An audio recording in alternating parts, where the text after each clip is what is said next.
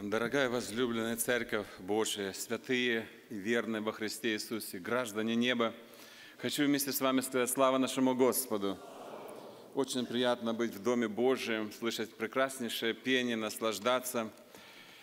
И я смотрю за регентами, как они красиво дирижируют, и немножко начинаю понимать язык. Вот хористы, они не слышат его, когда он говорит, но они очень ясно понимают язык жестов.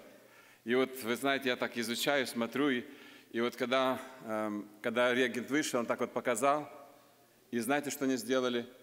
Встали, да? Даже показал, как открыть, кни, э, как открыть сборник или книж, э, книги их, показал, они все открыли. Вот, и когда смотрю, что когда-то надо, чтобы э, погромче или посильнее, как он показывает, вы помните, вы наблюдаете за регентами? И он так показывает, давайте, давайте, так, правильно так, регента, вы э, скажите, может быть, я неправильно, но я думаю, что вот так он показывает. А когда надо тише, тише. Братья и сестры, как он показывает, когда надо заканчивать? Он так показывает, а потом вот так вот. Раз, и все, да? Так вот и вы тоже, если вы выучили, то вы так, если надо заканчивать проповеднику, так просто так и покажите, значит, все, надо уходить. И еще так он показывает, садитесь, значит, уходи, проповедник, садись. Дорогие мои, ну вот я заметил, знаете, вот за детским хором, за детским хором, прекрасно дет, детский хор пел, и вот э, что-то особенно детям еще показали, какой-то жест. Кто-то заметил какой-то жест еще особенный. Не показывали почему-то старшим, э, старшим хорам. Это не только здесь, у вас в других церквях, где я был, видел. Вот еще один жест, он мне очень запомнился. И вот когда регент вышел, так как-то, знаете, дети переживают, и переживают регент, чтобы они хорошо спели. И она встала, регент, и так посмотрела на них и показала так им. Вы понимаете, что это такое? Вот, я так смотрю, думаю, не сидит ли кто-то там в зале для проповедника так. Если проповедник кислый, скучный, показываю, так думаю, что буду смотреть внимательно. Вот. Вы поняли, что это такое, братья и сестры, да? Для детей. Почему-то для детей. Может быть, только детям надо улыбаться, а взрослым надо быть такими серьезными – можно я вас попрошу, если вы чуть-чуть поняли, немножко вот мы с вами такую практику языком жестов говорили сейчас с вами. Если вы поняли, вот, я бы хотел, чтобы вы попробовали сейчас на своем соседе, на своем брате. Повернитесь и покажите ему. Не стесняйтесь. Ну как ваш брат, сосед, сестра, поняли или нет? Умеют, да? Умеет. Смотрю, все заулыбались. Слава нашему Господу, братья и сестры. А как нам не радоваться, когда наш Господь такой великий, чудесный, Бог наш, святой, милосердный, призвал нас, оправдал нас, а мы нас драгоценной святой кровью. Мы должны благодарить Господа нашего. Слава нашему Господу. И в оставшееся время мы будем читать Слово Божие вместе с вами и порассуждаем над одной мыслью, которую хочу оставить вам – я приехал из самого-самого юга Америки, дальше нас уже Мексика, это город Сан-Диего. Кто-то знает такой город, наверное, да? Есть город Сан-Диего. Вот оттуда, там у нас есть церковь «Свет миру», и наша церковь передавала всем сердечный привет. Я служу в этой церкви, и э, хотел бы, конечно, чтобы у нас была тоже такая прекрасная церковь, как у вас, и по зданию прекрасная, и по людям прекрасная, и по хору, и по певцам, и музыкантам, ну просто, ну просто таланты, таланты вашей церкви, просто приятно, просто хорошо. Я не знаю, что можно и еще дать вам большего, что вам Бог дал. Ну все, прекрасные служителя, прекрасный хор, прекрасные певцы, музыканты, проповедники – и место хорошее, правда? Ну, что можно, братья и сестры, сказать, э, попросить еще у Господа? Ну, все, мне кажется, самое лучшее. Вы самые благословенные, вы самые любимые у Господа, наверное. Господь вам подарил все прекрасное. Поэтому славьте Господа, благодарите и дорожите этим. Тема моей проповеди будет сегодня «Восстановление разрушенного жертвенника». Мы читаем э, в книге «Третье царство», 18 глава, я прочитаю не все, место Священного Писания, хотя мы будем рассуждать об этом. Вы знаете историю, я потом напомню ее. Я прочитаю с 30 стиха и ниже. Тогда Илья сказал всему народу, подойдите ко мне. И подошел весь народ к нему, он восстановил разрушенный жертвенник Господен. И взял Илья 12 камней по числу колен сынов Иакова, которому Господь сказал так, «Израиль, им, Израиль будет имя твое». И построил из этих камней жертвенник во имя Господа, и сделал вокруг жертвенника ров вместимостью в две саты зерен, и положил дрова, и рассек тельца, и возложил его на дрова. И сказал, наполните четыре ведра воды, и, налив, и выливайте на все сожигаемую жертву, и на дрова. Потом сказал, повторите – и они повторили. И сказал, сделайте э, тоже в третий раз. И сделали в третий раз. И вода полилась вокруг жертвенника, и ров наполнился водою. Во время приношения вечерней жертвы подошел Илья, пророк, и сказал, «Господи, Боже Авраамов, Исааков и Израилев, да познай все день, что Ты один, Бог в Израиле, и что я раб Твой, и сделал все по слову Твоему. Услышь меня, Господи, услышь меня, да познает народ сей, что Ты, Господи, Бог, и Ты обратишь сердце их к Тебе. И не спал огонь Господень, и пожал все сожжения, и дрова, и камни, и прах, и поглотил воду, которая во рве. И увидев, увидев это, весь народ пал на лицо свое и сказал, Господь есть Бог, Господь есть Бог. И дальше мы прочитаем, если дальше до конца этой главы, то там еще Илья пошел на гору молиться, и когда он молился, появилось облако с ладонь, и пошел сильный дождь. И это мы должны связать с вами восстановление разрушенного жертвенника. Не спал огонь, и дождь благословения пришел на землю.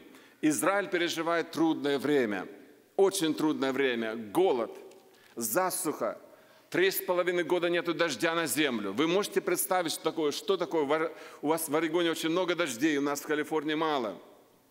Мы любим дождь, мы ждем дождь. Мы благодарим Бога за дождь, мы молимся о дожде. Мы постимся о дожде. Мы нуждаемся в дожде.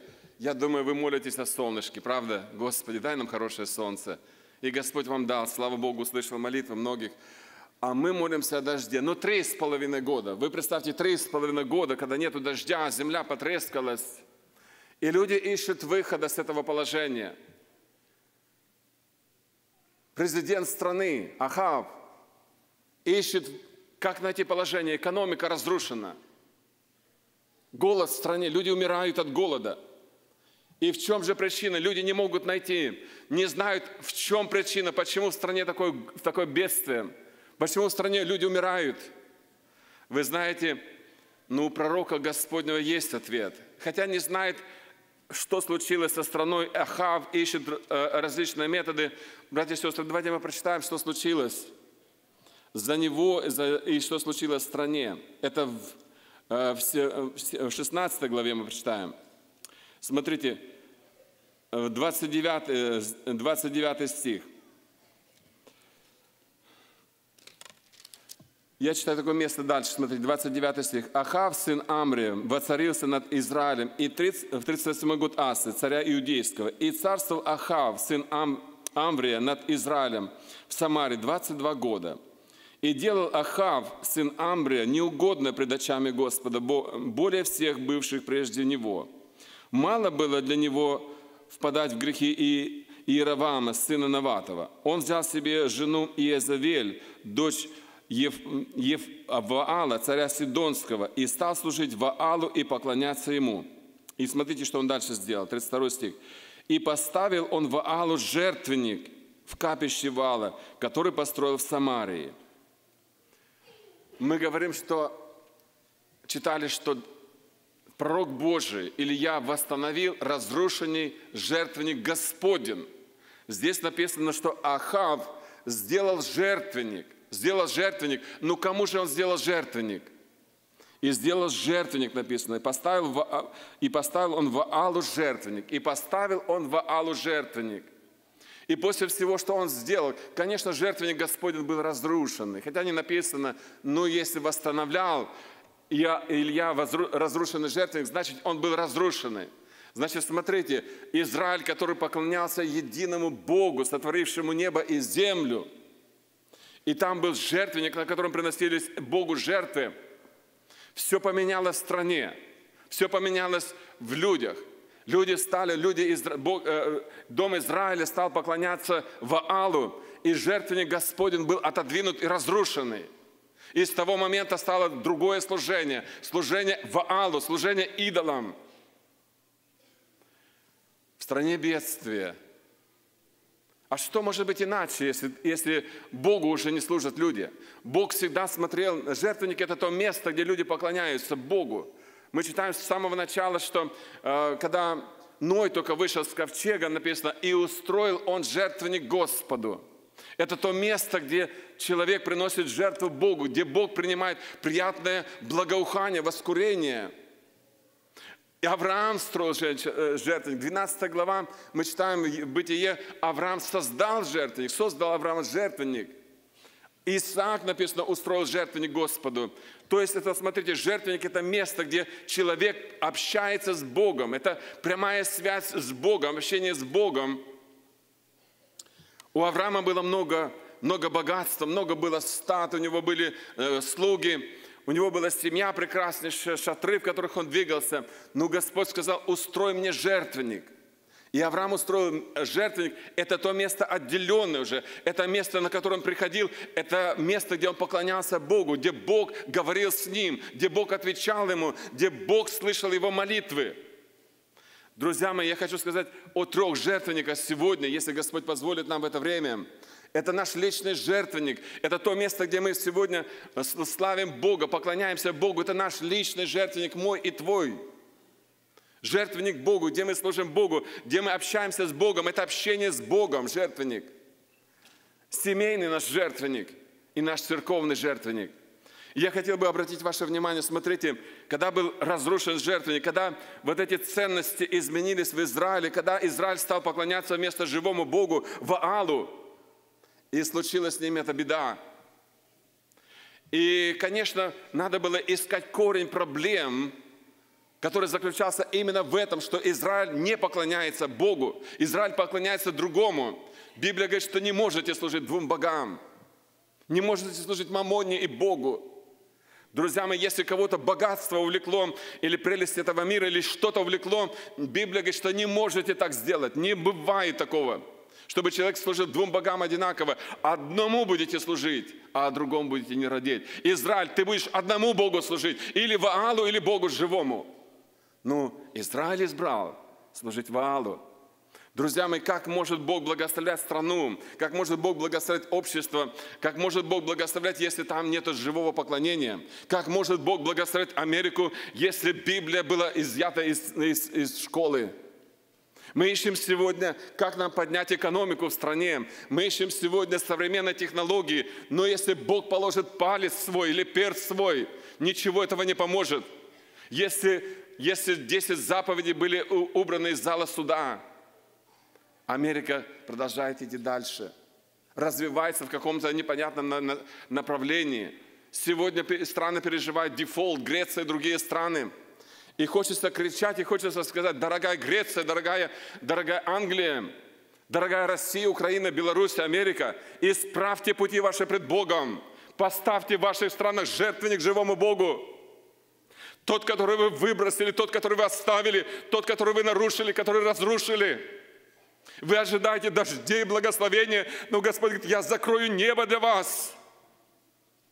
Я закрою небеса, потому что жертвенник мой разрушен. Друзья дорогие, я хотел бы обратить внимание, это в глобальном масштабе, если мы смотрим на страну, на общество. Но жертвенник сегодня сердечный, это более ближе, это более ближе к нам, когда Бог говорит нам в Слове, и Господь обращается в Слове Господнем в Откровении. И Он не обращается не ко всему обществу, как мы часто говорим, братья и сестры, дорогие, вот у нас, вот, вот мы, вот с вами. Но Господь индивидуально обращается. Я знаю, какие дела, не ваши, Господь говорит, но я знаю твои дела. Я знаю твои дела, я знаю твое отношение, я знаю, как ты горел для Господа, я знаю, как ты приходил, как у тебя жертвенник твой сердечный горел, и там огонь был на этом жертвеннике, как ты молился, как ты приходил к Богу, но сегодня этот жертвенник у многих разрушен. Жертвенник, общение с Богом потеряно – в общем, так все нормально. Мы, в общем-то, знаете, можем поддерживать такую атмосферу, но лично, братья и сестры, личные отношения. И этот жертвенник, я хочу прочитать, где он, этот жертвенник, где мы можем его построить сегодня в нашем современном мире, в Новом Завете. Писание нам говорит, Евангелие от Матфея, где этот жертвенник наш личный сегодня с вами. В шестой главе мы читаем такое слово. Пятый стих. «А когда молишься, не будь как лицемеры, которые любят в синагогах и на углах улиц, останавливаясь молиться, чтобы показаться пред людьми. Истинно говорю вам, что они уже получают награду свою. То есть Библия говорит, ты вот так не делай. Ты не делай это на показ, ты не делай на углах улиц, ты не делай на площади это. А ты что надо, а что же надо сделать? Где же этот наш личный жертвенник сегодня? Наше личное общение с Богом – ты же, опять смотрите, Слово Божье говорит, не в общем, не к семье обращается, не к церкви обращается, не к обществу обращается, а Бог обращается сегодня индивидуально к нам. Ты же, когда молишься, ты же, когда молишься. Братья и сестры, мы имеем, конечно, молитву семейную, мы об этом будем дальше говорить. Церковная молитва у нас есть и, и церковные молитвы наши. Но есть еще один вид молитвы. Ты, когда молишься – Друзья мои, очень важно, потому что мы можем молиться вместе, но если нет личного общения с Богом, если оно потеряно, Друзья мои, ничего не будет стоить наши общие молитвы тогда, потому что наши общие молитвы составляют из наших личных молитв и нашего личного общения с Богом. Ты же, когда молишься, ты же, когда молишься, войди в комнату твою и затворив дверь твою, помолись Отцу твоему, который в тайне, и Отец твой, видящий тайное, воздаст тебе явно. Ты же, когда молишься, друзья мои, вот этот жертвенник, который должен стоять у нас, в домах наших. И этот жертвенник мы можем иметь в нашей даже личной комнате. Это не надо особое какое-то помещение. Ты же, когда молишься, войди в комнату твою. И что надо делать? Написано, в комнату твою и затвори дверь твою. Это личное общение, вы знаете, мы должны ценить, дорожить этим общением. Если оно у кого-то потеряно, восстановите. Мы, мы читали за Илью, Илья восстановил разрушенный жертвенник. Этот жертвенник, вы знаете, он может быть разрушен нашими какими-то суетой, заботами века сего. Может быть, у кого-то разрушены сильным э, желанием познания или знаний, и мы включаем интернет, мы, мы смотрим новости и другое, а у нас перестало вот это чувство, желание побыть в общении с Богом наедине. Даже не с женой, даже я хочу, буду говорить о том, чтобы как вместе молиться, но вот это личное общение с Богом. Мы молимся с женой каждый день, мы молимся с семьей, но у меня есть личное время, когда я сам захожу в комнату, когда я не хочу, чтобы кто-то зашел туда больше – когда я беру Библию, когда я беру тетрадку, когда я беру, беру ручку, и я захожу в общение с Богом, и нахожусь один, я не, я не беру с собой телефон туда никогда, потому что он отвлекает, я закрываю дверь за собой. Это чтобы тебя не отвлекало, ты должен сам побыть лично с Богом, пообщаться с Богом. И вот ты зайди в комнату твою, затвори дверь твою – чтобы тебя не отвлекало. Ничего, никакие ситуации, чтобы тебя не отвлекали. Я раньше молился, телефон рядом лежал, и вы знаете, я понял, что он не должен там лежать, потому что когда я молился, Дух Святой наполнил, я славил Господа, говорил, аллилуйя тебе, Господь, и вдруг зазвонил телефон, и я поднимаю телефон и говорю, аллилуйя, и там замолчали на другой стороне. Я, я вообще не понял и, и, и, и говорю, доброе утро, а это была глубокая ночь, Потому что ты в сознании, вы знаете, отключился от этого мира, от всего, и ты вдруг твой телефон хватаешь и говоришь вместо «Алло, аллилуйя». Поэтому я понял, что не надо телефон брать с собой, братья и сестры, и не берите с собой телефона, когда вы молитесь лично. И написано, Отец твой, видящий тайное, воздаст тебе явно. Вот откуда явно ответ наш приходит к нам, это из нашей тайны молитвы, наше уединение с Богом. Это первое, где мы должны общаться с Господом. Вы знаете, а, общение с Господом в личном плане потеряно. Я не хочу сказать у многих или у малых, но сами судите, сколько людей сегодня имеет личное общение с Господом. Сколько сегодня уже поговорили утром с Господом, сколько сегодня из вас было, было уже в личной комнате, закрывались, молились Господу. Друзья мои дорогие, вы знаете, что сегодня существует такая тенденция, опасность профессиональных певцов, профессиональных проповедников. То есть мы учимся проповедовать красиво, жесты у нас, только фонограмму под проповедь дайте нам еще. Вот мы все можем научиться. Дорогие мои, и я слушал проповедь Давида Вилкерсона, когда-то он был э, в России, и была там конференция. И когда они были после конференции, пригласили на обед, и э, пастор э, большой-большой церкви, и жена там сидела рядом, и жена как-то подсказывает своему мужу, пастору, ты скажи проблему брату Вилкерсону, чтобы он помолился за тебя. Или ты, или я, если ты не скажешь, я скажу проблему. Он говорит, нет, я сам скажу. И он говорит, пастор Вилкерсон, брат дорогой, я хотел бы, чтобы вы помолились за меня, мне есть нужда. Какая же у тебя нужда? Он говорит, я являюсь пастором большой церкви. Я часто выступаю по телевидению, на радио.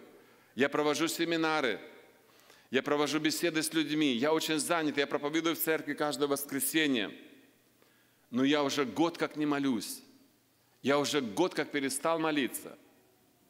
Я стал просто профессиональным проповедником. Я ищу, как проповедовать. У меня новые темы рождаются в голове. Я проповедую, но я перестал молиться.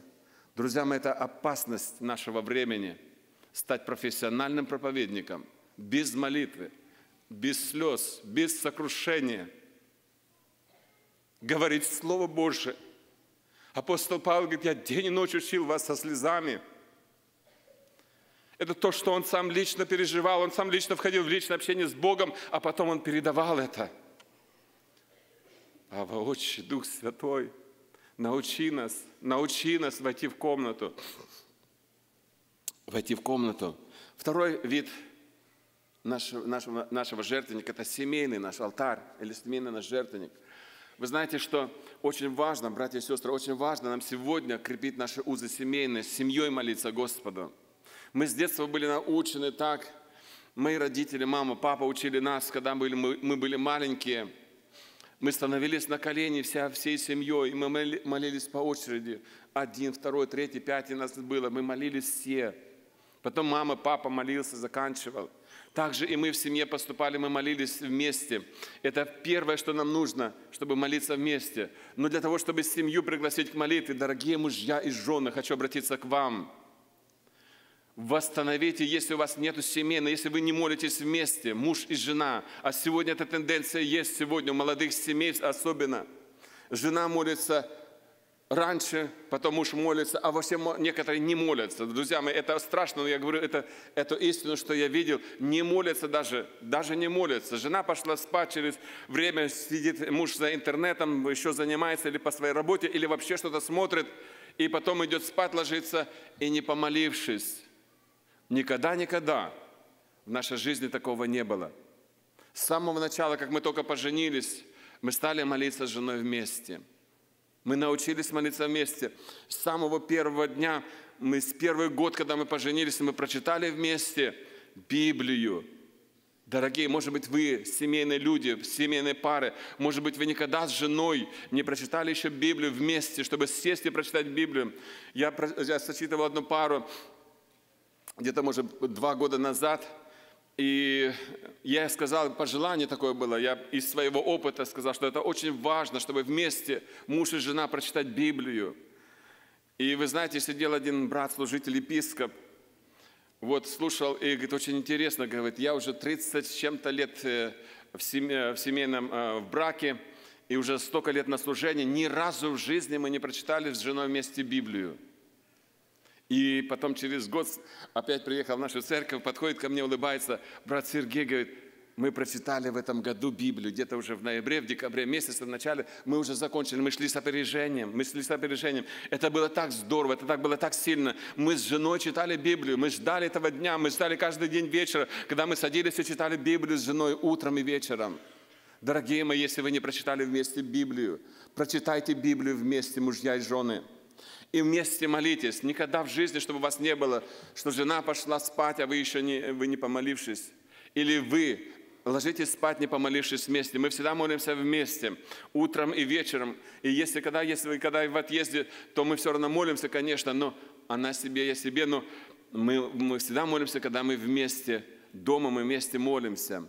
Статистика говорит, проводили семинар семейный на семейную тему у нас и одни американцы, это, это доктора богословия, это очень известные люди, проводили семинар.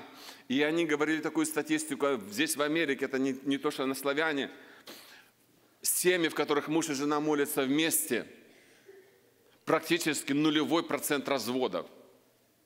В семьях, где муж и жена молятся вместе, нулевой процент разводов. В семьях, где не молятся жена и муж вместе, 50% развода, так как и в мире – вот откуда проблема, вот где проблема. Разрушенный семейный жертвенник. А мы ищем сегодня что-то другого. Нужно восстановить семейный жертвенник, чтобы в доме лилась молитва, чтобы муж и жена склонялись вместе. Когда вы молитесь вместе, вам очень легко тогда пригласить вашу семью. И ваша семья должна склониться вместе и молиться. Я вспоминаю, мы всегда практиковали тоже в нашей, в нашей семье, когда дети молились, дети уже выросли наши, шестеро детей – вот мы молимся, и каждый ребенок по очереди молится, большие и старшие, и помладшие. И вот моя молится с э, дочкой, так, я так, э, старшая дочь, ей было лет, лет 8, наверное, 7-8, уже слабо знает, как выразиться по-русски, вот, и молится такой молитвой, Господи, благодарю Тебя за глазки, которые Ты дал мне, которые я могу видеть. Я благодарю Тебя за ушки, которые я могу слышать, за ручки, которыми я могу трудиться, я благодарю Тебя за носик, которым я могу. Я могу. А что носик делает? Я могу. И не, подходя, не нашла подходящего слова на русском языке, объяснила Богу вот так. За носик, которым я могу. И начала молиться дальше. Конечно, мы заулыбались. Вот, но это детская молитва. Детская молитва – она благодарит Бога. Друзья мои, и все так по очереди молились. Я хочу спросить вас, дорогие мои, молитесь ли вы вместе со своей семьей, мужья и жены, родители дорогие, вы привлекаете ли свою семью вместе молиться? Если нет, ваш домашний жертвенник, он разрушен, его нужно восстановить. Восстановите это в своей семье, в практику вашей жизни. Введите это каждый день. И дети научатся молиться. Они не будут спать ложиться, пока мама, папа не помолятся. Следующее, что нужно делать в семье, это вместе служить Богу. Приходите вместе в собрание. Вы знаете, очень важно, чтобы, если есть возможность, чтобы семья сидела вместе. Мама, папа и дети садились в собрание.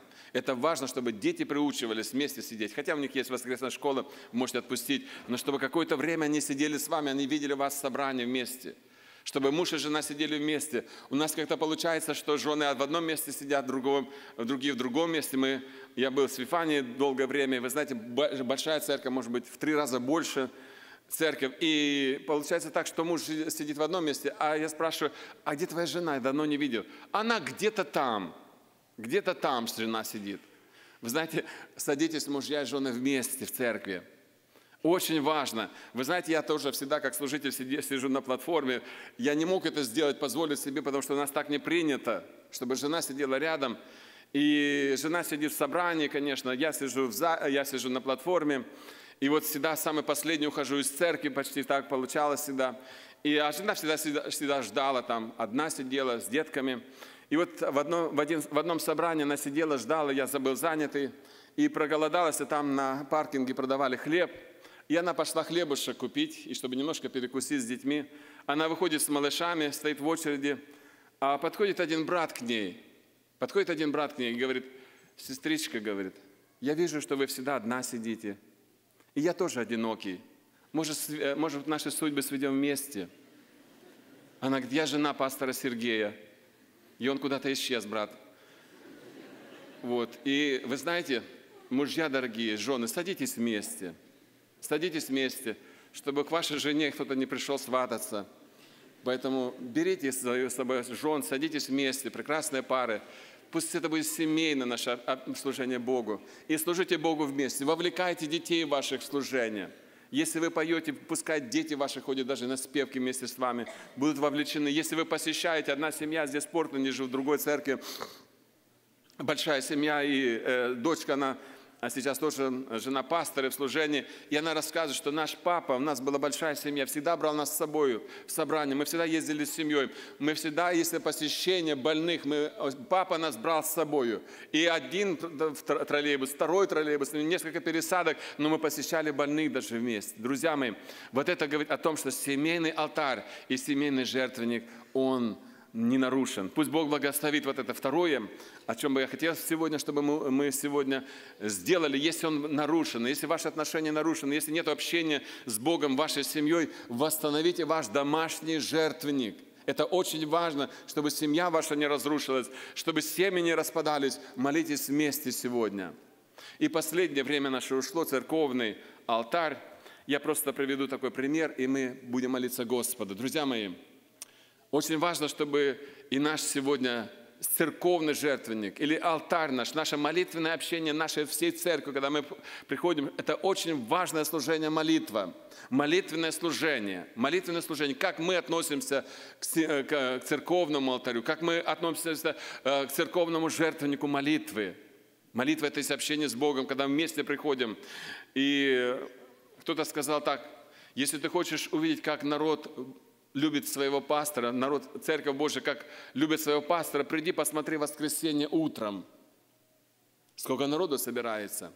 Если ты хочешь узнать, как народ любит евангелиста, приди, посмотри, сколько народу вечером на собрании.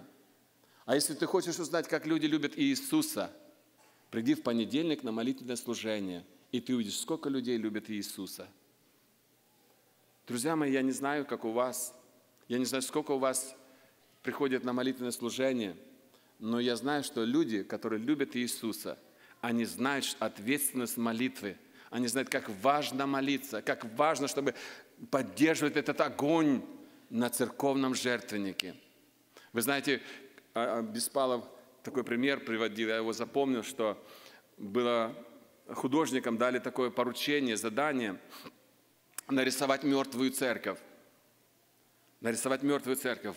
Фантазия, воображение вот этих художников. И начали рисовать. Один рисует э, поваленный забор, такое здание такое вот э, уже старенькое. Второй рисует совершенно э, здание уже без крыши, разрушенная половину, такая, ну, брошенная, бурьяном заросшая, все, все, все эта территория. Такое старое-старое веткое задание «Мертвая церковь». И один только нарисовал самую красивую, самую современную церковь, которую только можно увидеть сегодня в наше современное время. И когда он дал этот свой листочек тоже туда, тоже, и жюри смотрели и смотрели и не могли понять. И потом спросили, а как это может такая красивая, самая современная церковь, как она может быть мертвой? А он сказал, а вы присмотритесь внутрь этой церкви, вы посмотрите на алтарь, а там был нарисован алтарь, незаметный алтарь был нарисован внутри церкви. И там на алтаре сидел огромнейший паук, который свил паутину. Там никогда уже не горел огонь. Там только была красивая форма, но огня не было. И тут жюри присудили первое место этому рисунку. Первое место. Красиво снаружи, а мертво внутри. Это тогда, когда церковный жертвенник – он в пренебрежении, когда он разрушенный, тогда люди внешнюю красоту только э, делают, а внутренней нету. Поэтому я приглашаю вас всех на молитвенное служение. Проявите ревность, братья и сестры, проявляйте ревность, и пусть вся церковь, может быть, 90% придет завтра на молитвенное служение, служить Господом. Если у тебя личное отношение потеряно с Господом, мы сейчас идем к молитве. Вы можете даже выйти сюда наперед, братья придут помолиться за вас. Если семейные, мужья и жены, выйдите вместе, помолитесь. Это очень важно – очень важно. Кризис придет, неминуемо кризис придет, голод придет, смерти придут. Если разрушенный жертвенник, с этого начинается восстановление экономики, с этого восстановления все начинается с восстановления разрушенного жертвенника, с разрушенного общения с Богом. Если нет общения с Богом, значит есть общение с кем-то другим. Что-то занимает твое время – дорогие мужья и жены, если вы потеряли в семье, нету сегодня устройства, и именно здесь проблема кроется, что вы перестали молиться вместе, можете тоже прийти. Вместе с вами помолимся. Господа. Если нужно покаяние за то, что вы оставляете церковное служение, за то, что вы не идете на молитвенное служение, братья и сестры, тоже нужно покаяться и ревностно-ревностно начать созидать дело Господне вместе. Склоняемся на колени, молимся нашему Господу. Аминь. carabadas, kibididi palaudas, kramino lucurame neribidi claudas, kramino rubidi glide, aleluia, kramino rubidi gichalda, rebidi glide, aleluia, aleluia, aleluia.